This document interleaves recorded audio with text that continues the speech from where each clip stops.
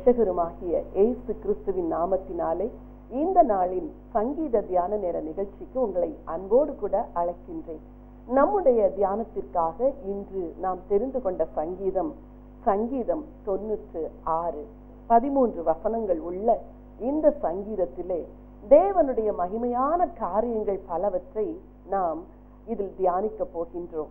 பல வேளைகளில் சங்கீதத்தை படிக்கும் பொழுது நமக்கு பரிச்சயப்பட்ட வார்த்தைகளை திரும்ப திரும்ப வருகிறது நிமித்தம் நாம் அவற்றை ஆழமாய் தியானிக்காமல் கடந்து செல்வது உண்டு இந்த சங்கீதத்தில் பதிமூன்றே வசனங்கள் மிக முக்கியமான ஒரு காரியத்தை தான் இந்த சங்கீதம் வலியுறுத்தி சொல்லுகின்றது. தேவன் எவ்வளவு பெரியவர் என்றும் அந்த தேவனுக்கு எப்படி கனத்தையும் மகிமையும் செலுத்த வேண்டும் என்றும் இந்த சங்கீதத்தின் ஒவ்வொரு வசனமும் வலியுறுத்தி கூறுகின்றது. தேவன் மகா பெரியவர் என்று பல சங்கீதங்களிலும் நாம் பார்க்கின்றோம். அதே போல தீர்க்க தரிசன புத்தகங்களிலும் மற்றும் சரித்திர புத்தகங்களிலும் இந்த தேவன் எவ்வளவு பெரியவர் என்பதை நாம் தியானிக்கின்றோம். என்னோடு கூட இந்த சங்கீதத்தை தியானிப்பதற்கு உங்களை அன்போடு கூட அழைக்கின்றேன். நம்முடைய தியானத்திற்காக இந்த சங்கீதத்தை மூன்று பகுதிகளாக பிரிக்க விரும்புகின்றேன். தேவனை புகழ்வதன் மேன்மை. இதுதான் முதலாவது தலைப்பு. தேவனை புகழுவது எத்தனை மேன்மையானது என்பதை சங்கீதக்காரன் அழகா எழுதியிருக்கிறார். இரண்டாவதாக புகழப்படுகிற தேவனுடைய மகத்துவம். அதாவது தேவன் எவ்வளவு பெரியவர் என்றும் அவருடைய மகத்துவம் எவ்வளவு பெரியதென்றும் அழகாக இந்த சங்கீதத்திலே வார்த்தைகள் அடுக்கப்பட்டு எழுதப்பட்டிருக்கின்றது. மூன்றாவது பூமி முழுவதும் தேவனுடைய ஆளுகை. இந்த மூன்று தலைப்பில் தான் இந்த சங்கீதத்தை நாம் தியானிக்கவிருக்கின்றோம். என்னோடு கூட முதல் ஓரிரு வசனங்களை நீங்கள் வாசிக்கும்படி அன்பாய் கேட்கின்றேன். ஒன்றாவது வசனத்திலிருந்து நாம் வாசிக்கலாம். கத்தருக்கு புதுப்பாட்டை பாடுங்கள். பூமியின் குடிகளே எல்லோரும் கத்தரை பாடுங்கள். கத்தரை பாடி அவருடைய நாமத்தை ஸ்தோத்தரித்து நாளுக்கு நாள் அவருடைய ரட்சிப்பை சுவிசேஷமாய் அறிவியுங்கள். கத்தருக்கு புதுப்பாட்டை பாடுங்கள். பூமியின் குடிகளே எல்லோரும் கத்தரை பாடுங்கள் என்று சந்தோஷமாக இந்த சங்கீதம் துவங்கப்படுகிறது. ஆசாபின் பாடல்கள் பல சந்தோஷத்தின் பாடல்களாகவே இருந்திருக்கின்றது.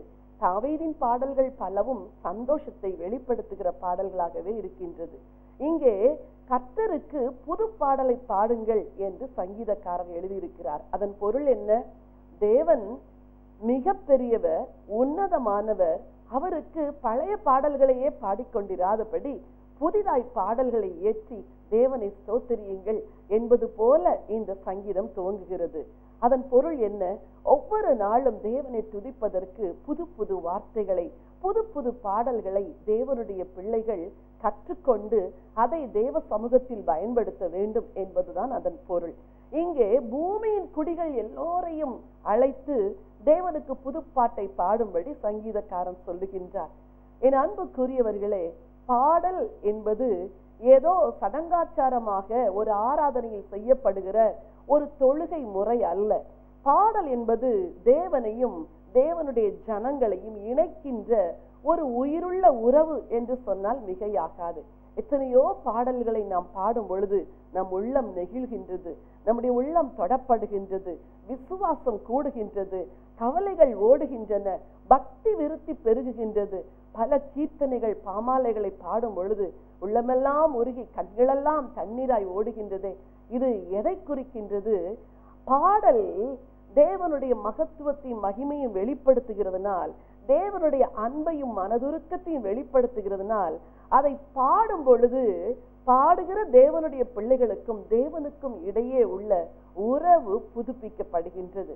ஒருவேளை நீங்கள் நன்றாக பாடுகிற ஒரு நபராக இருக்கலாம். புது புது பாடல்களை கண்டுபிடித்து பக்தியுள்ள பாடல்களை கண்டுபிடித்து தேவனுக்கு அதை காணிக்கையாக்குங்கள். நீங்கள் பாடல் எழுதுகின்ற ஒரு நபராய் கூட இருக்கலாம். தேவனிடத்தில் கிருபை கேட்டு தேவனே எனக்கு புது பாடலை தாரும் புதிய வார்த்தைகளை தாரும் புதிய ராகங்களை தாரும் என்று சொல்லி ஆண்டவரிடத்தில் கேட்பீர்கள் என்றால் ஆண்டவர் உங்களுக்கு புதிய பாடல்களை கொடுப்பார். ஒருவேளை நீங்கள் நினைக்கலாம் நான் ஒரு ஆராதனை நடத்துகிற ஒரு நபரோ அல்லது ஒரு ஊழியனோ அல்ல நான் ஒரு சாதாரண விசுவாசி என்று நீங்கள் உங்களை குறித்து நினைக்கலாம். உங்களுக்கும் கூட தேவனை துதிக்கின்ற ஆராதனை வேளையிலே நிச்சயமாக தேவன் புது பாடல்களை தருவார். பல மொழிகளை நீங்கள் பேசும் பொழுது அதிலிருந்து புது ராகம் வரும் புது பாடல் வரும். எதிர்பார்ப்பீர்கள் என்றால் நிச்சயமாக தேவன் அதை கொடுப்பார். எத்தனையோ பாடல்கள் ஆண்டவர் எனக்கு என்னுடைய ஜெப வேலைகளில் கொடுத்திருக்கின்றார். எத்தனையோ ஆராதனை வேலைகளில் உள்ளமுடைந்து தேவனை ஆராதிக்கும் பொழுது பிறந்த பாடல்கள் அநேக ஆயிரக்கணக்கான மக்களுக்கு ஆசீர்வாதமாய் மாறியிருக்கின்றது. என் அன்பு தேவனுடைய பிள்ளைகளை ஆண்டவருக்கு புது பாடலை பாடுங்கள். வேதம் முழுவதும் பரிசுத்தவான்கள் எங்கெல்லாம் தேவனை பாடினார்கள் என்றால் எப்பொழுதெல்லாம் தேவன் அதிசயமான காரியங்களை செய்து வெற்றி கொடுத்தாரோ அப்பொழுதெல்லாம் தேவ ஜனங்கள் தேவனை பாடியிருக்கிறார்கள். யாத்திராகமம் புத்தகம் பதினைந்தாம் அதிகாரத்திலே ஆண்டவர் மகா பெரிய வெற்றியை கொடுத்த பொழுது மீரியாமும் அவரோடு கூட இருந்த அத்தனை பேரும் ஆண்டவரை துதித்து பாடினார்கள். மகிமையாய் கத்து வெற்றி சிறந்தார் என்று பாடுகிறதை நாம் பார்க்கின்றோம். அதே போல வனாந்தரத்தில் தேவனுடைய ஜனங்கள் நடந்து வரும் பொழுது ஆண்டவர் அவர்களுக்கு தண்ணீரை பொங்க பண்ணின பொழுது ஊற்று தண்ணீரே பொங்கி வா என்று சொல்லி தேவனை புகழ்ந்து பாடினார்கள். உபாகமம் முப்பத்தி ஓராம் அதிகாரத்திலே ஆண்டவரே ஒரு பாடலை கொடுத்து மொசே இந்த பாடலை ஜனங்களுக்கு நீ கற்பித்து கொடுக்க வேண்டும் என்று சொன்னார். எவ்வளவு ஆச்சரியமான ஒரு காரியம் பாருங்கள். தேவனே அதை விரும்பினார். ஏன் தெரியுமா? பாடல்களை ஒருவர் படித்து விடுவார் என்றால் அது அவர்களை விட்டு நிச்சயமாய் மறந்து போகவே போகாது. ஆகவேதான் வாலிப பிள்ளைகளே உங்களுக்கு சொல்லுகிறேன். பக்திக்கேதுவான பல நூறு பாடல்களை மனனம் செய்து வைத்து உங்கள் ஜெப வேளையிலும் ஆராதனை வேளையிலும் பக்தியோடு தேவனை பாடுவதற்கு பழகுங்கள். சங்கீதக்காரனாகிய தாவீது ஏராளமான பாடல்கள் எழுதியிருக்கிறார். ஆசாப் ஏராளமான பாடல்களை எழுதியிருக்கிறார். கோராகின் புத்திரர் எல்லாம் பாடல்கள் எழுதினவர்கள். ஏன் இவர்கள் புதிய பாடல்களை எல்லாம் எழுதினார்கள் என்றால் தேவனை துதிப்பதற்கும் மன நிறைவோடு தேவனை ஆராதிப்பதற்குமே இந்த பாடல்கள் எழுதப்பட்டது. அத்தோடு கூட புதிய ஏற்பாட்டிலே நாம் பார்க்கும் பொழுது ரட்சகர் பிறந்த அந்த நேரத்தில் வான தூதர்கள் எல்லாம் இறங்கி வந்து பாடல்களை பாடினார்களாம். உன்னதத்தில் இருக்கிற தேவனுக்கு மகிமையும் பூமியிலே சமாதானமும் மனுஷன் மேல் பிரியமும் உண்டாவதாக என்று. மரியாள் கம்பீரமாய் தேவனை புகழ்ந்து பாடியதை புதிய ஏற்பாட்டில் பார்க்கின்றோம். ரட்சகர் இயேசுவும் கூட அந்த பஸ்கா அந்த ஆசரிப்பின் பின்பு அவர்கள் புறப்பட்டு போகையில் ஸ்தோத்திர பாடல்களை பாடினார் என்று வாசிக்கின்றோம். வெளிப்படுத்தின விசேஷத்திலே நாங்கள் பூமியிலே அரசாழுவோம் என்று சொல்லி மீட்கப்பட்ட தேவனுடைய பிள்ளைகள் பாடுகிறதை நாம் கேட்கின்றோம். இது எதை சொல்லுகிறது? ஆதியாகமம் முதல் வெளிப்படுத்தின விசேஷம் வரைக்கும் முழுவதிலும் முழுவதிலும் முழுவதிலும் தேவனுடைய பிள்ளைகள் தேவனை புகழ்ந்து பாடியதை நாம் பார்க்கின்றோம். பூமியை தேவன் சிருஷ்டிக்கும் பொழுது நட்சத்திரங்கள் எல்லாம் கைகொட்டி கம்பீரித்தனவாம் தேவதூதர்கள் எல்லாம் பாடினார்களாம். சிருஷ்டிப்பின் துவக்கத்தில் இருந்து ஆயிரம் பல்லாயிரம் வருஷம் கோடான கோடி வருஷம் யுகா யுகமாய் தேவனோடு வாழுகிற அந்த நித்தியம் வரைக்கும் இடம் பெறுகின்ற மிக சிறந்த ஒரு காரியம் தேவனை பாடுவதும் துதிப்பதும். ஆகவேதான் சங்கீதக்காரன் சந்தோஷமாய் துவங்குகிறார். பூமியின் குடிகளை நீங்கள் எல்லோரும் தேவனை கம்பீரமாய் பாடுங்கள் என்று. எத்தனையோ நாட்கள் நீங்கள் அழுது அழுது ஜெபித்திருக்கிறீர்கள். எவ்வளவோ நாட்கள் உபவாசித்து புலம்பி இருப்பீர்கள். இன்று ஒரு தீர்மானம் செய்யுங்கள். உங்கள் ஜெப வேளையின் பெரும் பகுதியை தேவனை துதிப்பதில் செலவு செய்யுங்கள். அப்போ அப்போஸ்தலனாகிய பவுலும் சீலாவும் சிறைச்சாலையில் இருக்கும் பொழுது அவ்வளவு காயங்கள் அவ்வளவு வேதனைகள். ஒருவேளை வேறு யாராவது இருந்திருந்தால் புலம்பி அழுதிருப்பார்கள். ஆண்டவரே எங்களை இவ்வளவாய் அடித்து விட்டார்களே இவ்வளவாய் பாடுபடுகிறோமே என்று. ஆனால் அவர்கள் இருவரும் செய்ததை பாருங்கள். சிறைச்சாலையிலே பவுலும் சீலாவும் தேவனை துதித்து பாடின பொழுது சிறைச்சாலையின் அஸ்திவாரங்கள் எல்லாம் அசைந்தனவாம். தேவன் கிரியை செய்தாராம். துதியிலே வல்லமை இருக்கிறது. பாடலிலே வல்லமை இருக்கிறது. எரிகோவை சுற்றி துதித்து பாடும் பொழுது அங்கே தேவன் அந்த மதில்களை விழும்படி செய்தார். உங்கள் வாழ்வில் தேவனை துதித்து பாடுங்கள். அற்புதங்கள் நிகழ்வதை நீங்கள் காண்பீர்கள். ஆச்சரியமாய் தேவன் கிரியை செய்வார். பூமியின் குடிகளே நீங்கள் எல்லோரும் தேவனை கம்பீரமாய் பாடுங்கள். உங்கள் ஆராதனைக்கு கடந்து செல்லும் பொழுது உற்சாகமாய் போங்கள். இன்றைக்கு நான் ஆண்டவரை தொழுது கொள்ளப் போகிறேன். இன்றைக்கு பாடல்களை பாடப் போகிறேன். தேவனை துதிக்கப் போகிறேன் என்று. உங்கள் ஜெப கூடுகைக்கு செல்லும் பொழுது சந்தோஷமாய் செல்லுங்கள். இன்றைக்கு முழு பலத்தோடு தேவனை நான் ஸ்தோத்தரிக்க போகிறேன் என்று. அப்படி நீங்கள் மனநிறைவோடு தேவனை ஆராதிப்பீர்கள் என்றால் ஆண்டவருடைய மட்டற்ற வல்லமை அளவற்ற அதிசயங்கள் உங்கள் வாழ்வில் நிகழும் என்பதற்கு எந்த சந்தேகமும் இல்லை. இந்த சங்கீதத்தின் அடுத்த சில வசனங்களை உங்களுக்காய் வாசிக்க விரும்புகின்றேன். வசனம் மூன்றில் இருந்து சாதிகளுக்குள் அவருடைய மகிமையும் சகல ஜனங்களுக்குள்ளும் அவருடைய அதிசயங்களையும் விவரித்து சொல்லுங்கள். ஜாதிகளுக்குள் அவருடைய மகிமையையும் சகல ஜனங்களுக்குள்ளும் அவருடைய அதிசயங்களையும் விவரித்து சொல்லுங்கள் என்று சொல்லியிருக்கிறது. இதன் பொருள் என்ன? பாடல்கள் பாடும் பொழுதே தேவனுடைய மகத்துவத்தை அவர் செய்த அதிசயங்களை ஜனங்கள் அந்த பாடல் மூலம் அறிந்து கொள்ளக்கூடிய பாடல்களை பாட வேண்டுமா? இன்றைக்கு எத்தனையோ புதிய பாடல்கள் வருகின்றன. ஆனால் உள்ளத்தை தொடுகிற பாடல்களும் வல்லமை நிறைந்த பாடல்களும் ஒரு சிலதான். சிலர் ராகத்திற்காய் பாடுகிறார்கள் சிலர் இசைக்காய் பாடுகிறார்கள் சிலர் வேறு சில காரியங்களுக்காய் பாடுகிறார்கள். ஆனால் நீங்கள் பாடுகிற பாடல்களும் நீங்கள் இயற்றுகிற பாடல்களும் எப்படி இருக்க வேண்டும் தெரியுமா? தேவனை புகழுகிறதாய் தேவனுடைய அதிசயங்களை விவரித்து சொல்லுகிறதாய் இருக்க வேண்டும். அதைத்தான் சங்கீதக்காரர் மூன்றாவது வசனத்திலே வலியுறுத்துகின்றார். இந்த முதல் மூன்று வசனங்களும் தேவனை துதிக்கிறதன் மேன்மையை அழகாய் இப்படி விவரித்து சொல்லுகிறது. நான்காவது வசனத்திலிருந்து இப்படி புகழப்படுகிற தேவனுடைய மகத்துவம் எவ்வளவு பெரியது என்று சங்கீதக்காரன் அழகா எழுதி வைத்திருக்கின்றார். நான்காவது வசனத்திலிருந்து உங்களுக்காக வாசிக்க விரும்புகின்றேன். கர்த்தர் பெரியவரும் மிகவும் ஸ்தோத்தரிக்கப்படத்தக்கவருமாய் இருக்கிறார். எல்லா தேவர்களிலும் பயப்படத்தக்கவர் அவரே. சகல ஜனங்களுடைய தேவர்களும் விக்கிரகங்கள் தானே. கர்த்தரோ வானங்களை உண்டாக்கினவர். வசனம் ஆறு. மகிமையும் கனமும் அவர் சமூகத்தில் இருக்கிறது. வல்லமையும் மகத்துவமும் அவர் பரிசுத்த ஸ்தலத்தில் உள்ளது. தேவன் பெரியவர் எல்லா தேவர்களிலும் பயப்படத்தக்கவர் என்று சங்கீதக்காரர் எழுதியிருக்கிறார். தேவனை எப்படி பெரியவர் என்று நாம் சொல்லுகின்றோம்? வேதம் சொல்லுகிறது அவர் வானத்தையும் பூமியும் படைத்தவர். மனிதர்களை படைத்தவர். மனிதருக்கு சுவாசத்தை கொடுத்தவர். அன்றாடம் வாழுவதற்கு வேண்டிய சீதோஷ்ண சூழ்நிலைகளை உருவாக்கி கொடுத்தவர். மனிதன் புசிக்க ஆகாரத்தையும் உடுக்க வஸ்திரத்தையும் வாழ வசதிகளையும் கொடுக்கிறவர் சுவாசிக்க காற்றை கொடுக்கிறவர் குடிக்க தண்ணீரை கொடுக்கிறவர் மனுஷனுடைய சரீரத்திற்கு வேண்டிய அத்தனையும் படைத்தவர் இந்த ஒரு தேவன்தான். ஆகவேதான் எரேமி அதிர்க்க தரிசி எழுதும் பொழுது எழுதுவார் வானத்தையும் பூமியும் உண்டாக்காத தேவர்கள் இந்த வானத்தின் கீழ் எங்கும் இராதபடிக்கு அ- அறுப்புண்டு போவார்கள் என்று சொல்லி.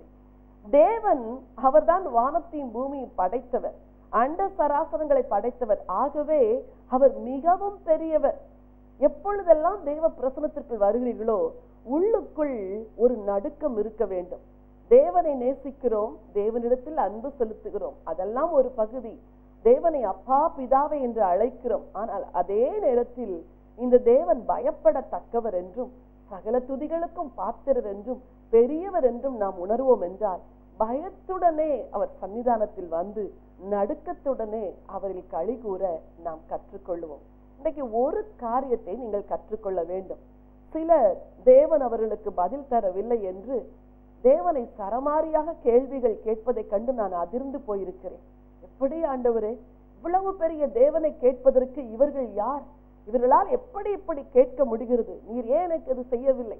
என்னை ஏன் இப்படியெல்லாம் வாழ வைத்தீர்? எனக்கு ஏன் இந்த நஷ்டம்? என் வீட்டில் ஏன் இந்த கஷ்டம்? நான் உம்மை சேவிக்கவில்லையா? உமக்கு கொடுக்கவில்லையா?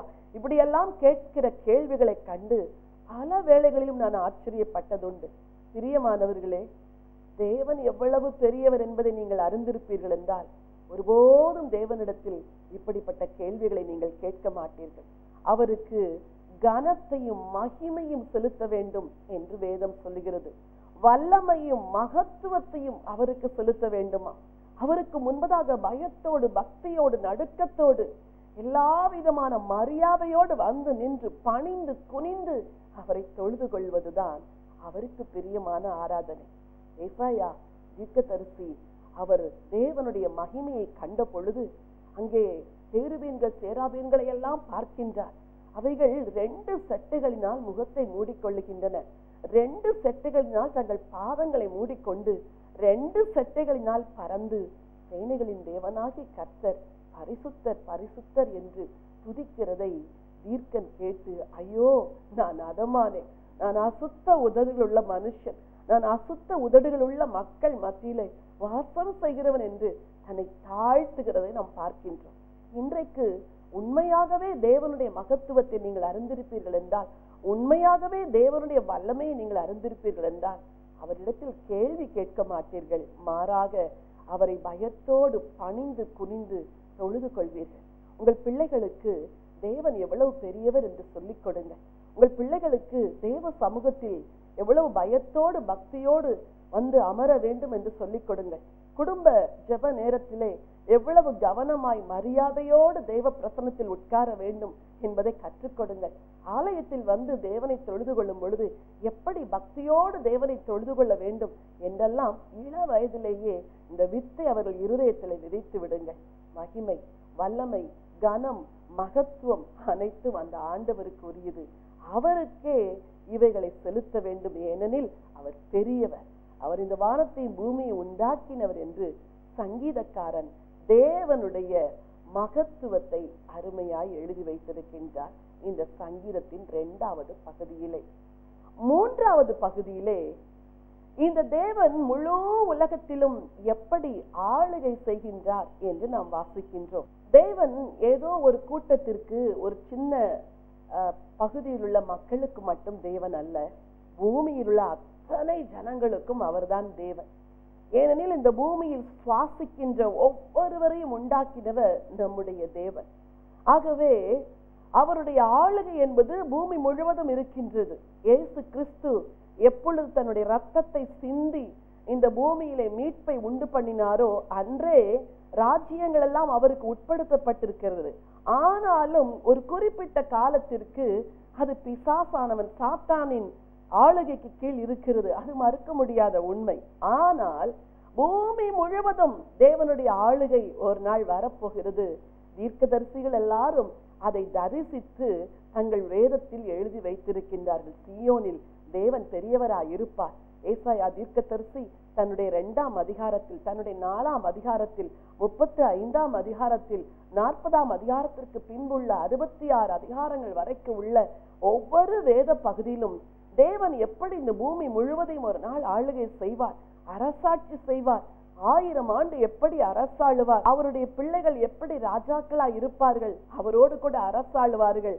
தேவனை சேவிக்க பூமி முழுவதும் இருந்து ஜனங்கள் எப்படி சியோனுக்கு ஓடி வருவார்கள் என்றெல்லாம் தீர்க்கன் தன்னுடைய தீர்க்க தரிசன புஸ்தகத்திலே எழுதி வைத்திருக்கிறார். என் அன்புக்குரிய தேவனுடைய பிள்ளைகளே நாம் வாழுகிறோமே இந்த வாழ்க்கை நிரந்தரம் அல்ல. இப்பொழுது இருக்கிற ஆளுகைகளும் நிரந்தரம் அல்ல. இவைகளெல்லாம் வரும் போகும். தலைவர்கள் உயிரோடு இருக்கிற வரைக்கும் அவர்களுடைய ஆளுகை.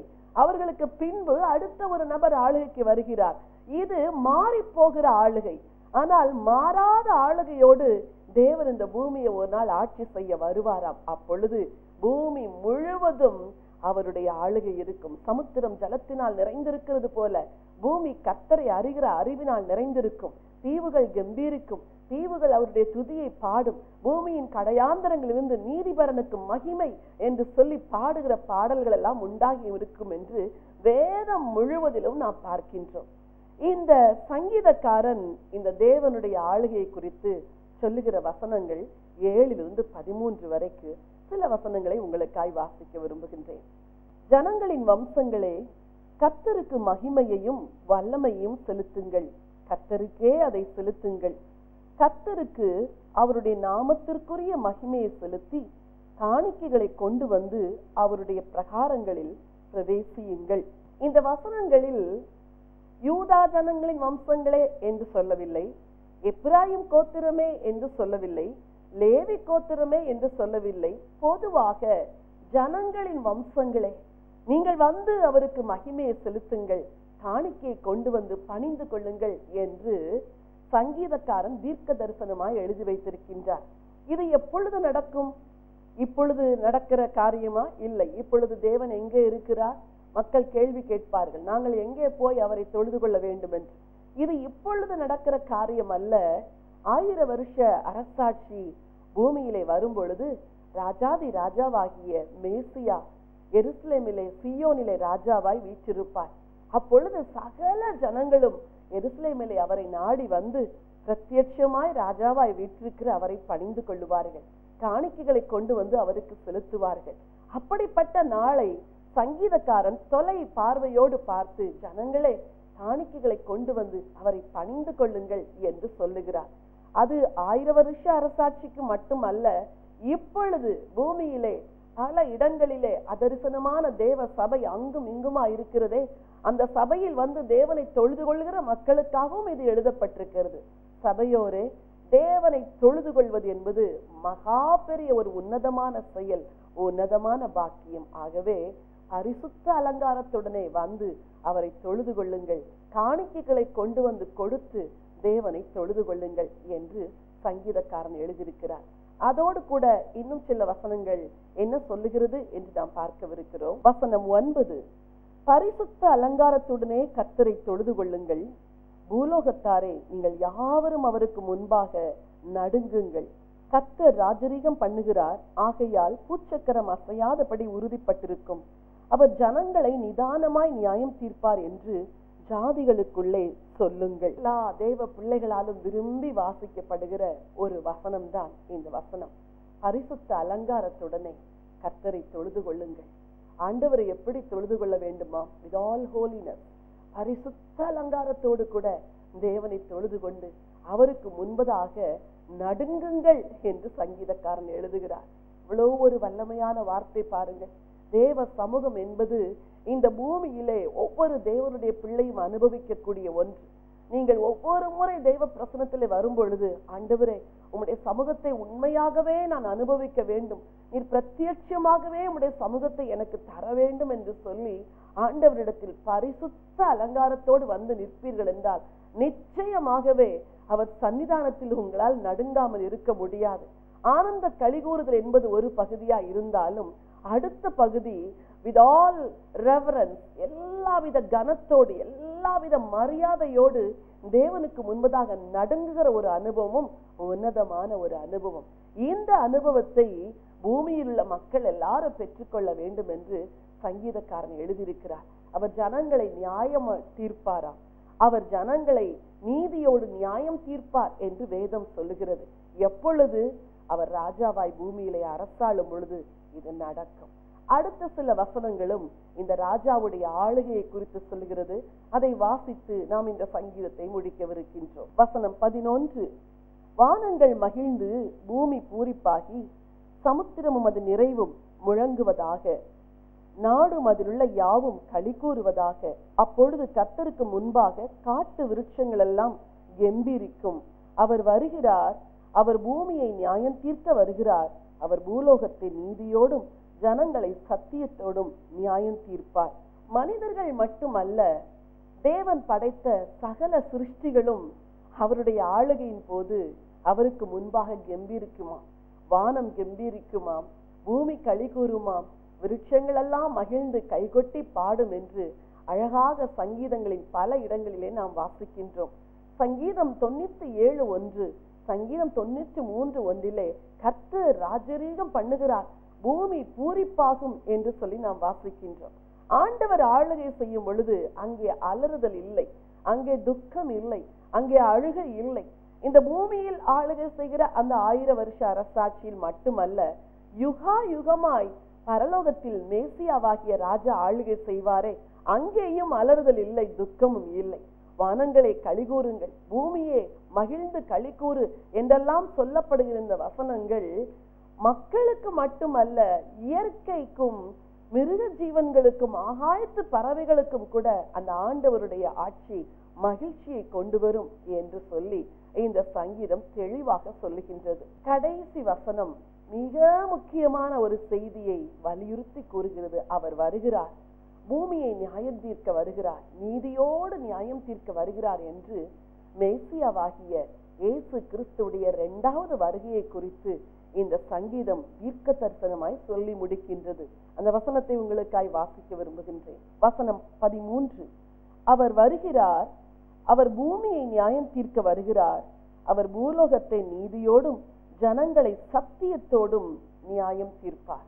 என்ன ஒரு அருமையான திட்டமும் தெளிவுமான தீர்க்க தரிசனம் பாருங்கள். அவர் வருகிறார் பூமியை நீதியோடும் சகல ஜனங்களை நியாயத்தோடு அவர் நியாயம் தீர்க்க வருகிறார் என்ற ஒரு மகத்துவமான ஒரு செய்தி. தேவனை தொழுது கொள்கிற ஜனங்கள் இன்னொரு காரியத்தையும் மிக ஆழமாய் எதிர்பார்க்க வேண்டும் என்று இந்த சங்கீதம் சொல்லுகிறது. அவர் வருகிறார். அவர் வரப்போகிறார். ஒரு நாள் அவருடைய வருகையில நாமெல்லாம் பறந்து செல்லுவோம். அதற்கு நீங்கள் ஆயத்தமாக வேண்டும். அந்த யுகா யுகமாய் வாழுகிற வாழ்வுக்கு நீங்கள் ஆயத்தமாக வேண்டும் என்ற ஒரு ஆலோசனையின் செய்தியோடு இந்த சங்கீதம் முடிகிறது. ஆகவே சங்கீதத்தின் துவக்கத்திலே பார்க்கிறோம் கர்த்தரை பாடுங்கள் நாளுக்கு நாள் அவருடைய ரட்சிப்பை நற்செய்தியாய் அறிவியுங்கள் என்று சொல்லுகிறது. அவர் வருகிறார் வருகிறார் என்று சொல்லி ஆயத்தமாகிற நாம் அந்த வருகையை மக்களுக்கு சுவிசேஷமாய் அறிவிக்க வேண்டுமாம். சங்கீதக்காரன் அதைத்தான் தன்னுடைய சங்கீதத்தின் முதல் பகுதியிலே வலியுறுத்தி சொல்லுகின்றார். இன்றைக்கு நீங்கள் ஆண்டவருடைய பிள்ளைகளாய் இருக்கிறீர்கள். எத்தனையோ நன்மைகளை பெற்றிருக்கிறீர்கள். இயேசு வருகிறார் என்று சொல்லுகிறீர்கள். ஆனால் இந்த ஆண்டவருடைய வருகையை குறித்து நீங்கள் எத்தனை பேருக்கு சொல்லி இருக்கிறீர்கள் அவருடைய ரட்சிப்பை குறித்து எத்தனை பேருக்கு சுவிசேஷமாய் அறிவித்திருக்கிறீர்கள்? தேவனுடைய பிள்ளைகளே இது உங்கள் மேல் விழுந்த மகா பெரிய ஒரு பொறுப்பு. ஒரு நாளைக்கு ஒருவரிடத்திலாவது தேவனுடைய ரட்சிப்பை நீங்கள் சொல்லித்தான் ஆக வேண்டும். இயேசு என்ற மெய்யான மீட்பரை நீங்கள் சொல்லித்தான் ஆக வேண்டும். நீங்கள் கூறித்தான் ஆக வேண்டும். ஆண்டவர் இயேசு வருகிறார் என்று உங்களை சுற்றி இருக்கிற ஜனங்களுக்கு உங்கள் வாழ்க்கையின் மூலமும் உங்கள் வார்த்தையின் மூலமும் நீங்கள் சொல்லித்தான் ஆக வேண்டும். இல்லை என்றால் நிச்சயமாகவே ரத்தப்பள்ளி உங்கள் மேல் சுமர். ஆண்டவர் வருகிறார் நான் அரசாளுவேன் அவரோடு கூட பறந்து செல்லுவேன் என்று சொல்லுகிற நீங்கள் உங்களை சூழ இருக்கிற மக்களை குறித்து சற்றேனும் சிந்திக்காமல் வாழ்வீர்கள் என்றால் இந்த நீதியுள்ள நியாயாதிபதி நியாயம் தீர்க்க மாட்டாரா? இந்த வசனத்தினால் உணர்வடைவோம். இந்த வசனத்தினால் எச்சரிப்படைவோம். ஒருவேளை என் வார்த்தையை கேட்டுக்கொண்டிருக்கிற அன்பு தேவனுடைய பிள்ளைகளே இந்த வசனங்களை குறித்தெல்லாம் எதுவுமே தெரியாத வேறு மார்க்கத்தை சேர்ந்த ஒரு நபராக நீங்கள் இருக்கலாம். உங்களுக்கு இன்றைக்கு நான் ஒரு நற்செய்தியை சொல்ல விரும்புகிறேன். ஒரு ஆண்டவர் இருக்கிறார்.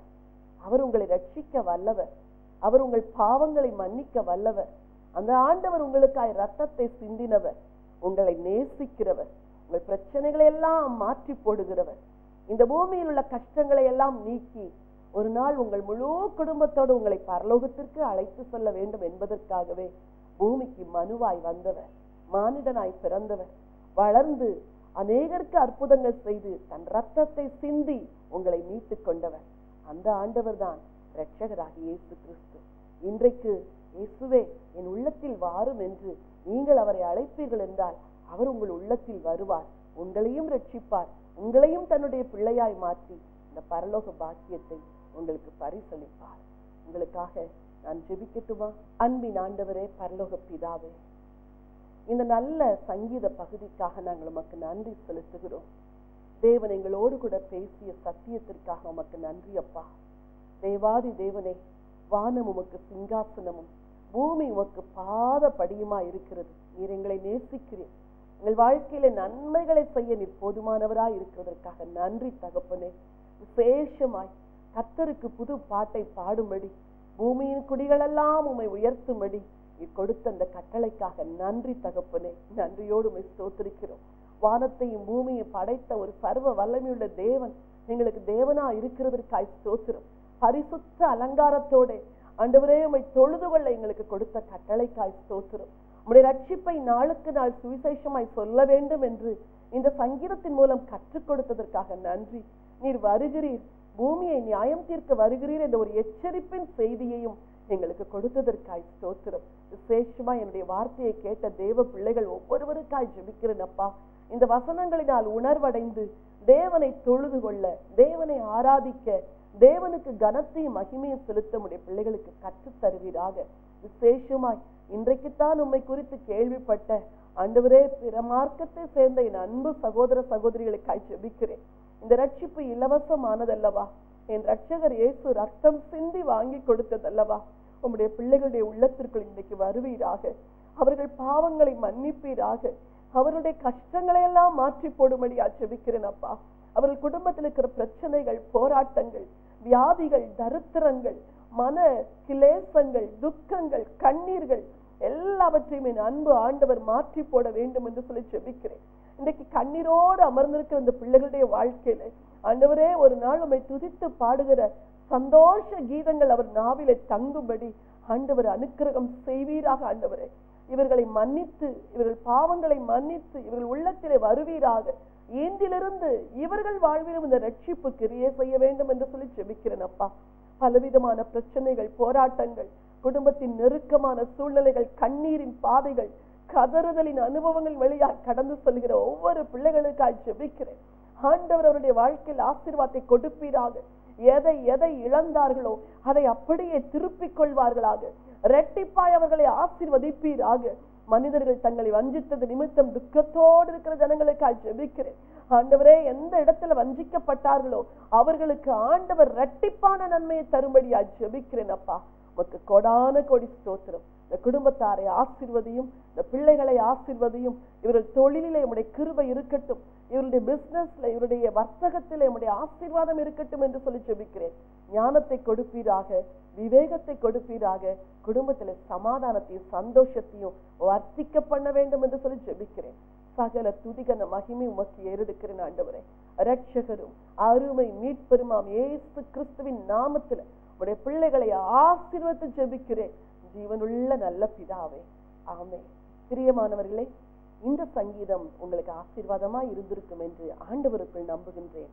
தொடர்ந்து கத்தருக்கு புதுப்பாட்டை பாடுங்கள். அவர் சமூகத்தில் களி கூறுங்கள்.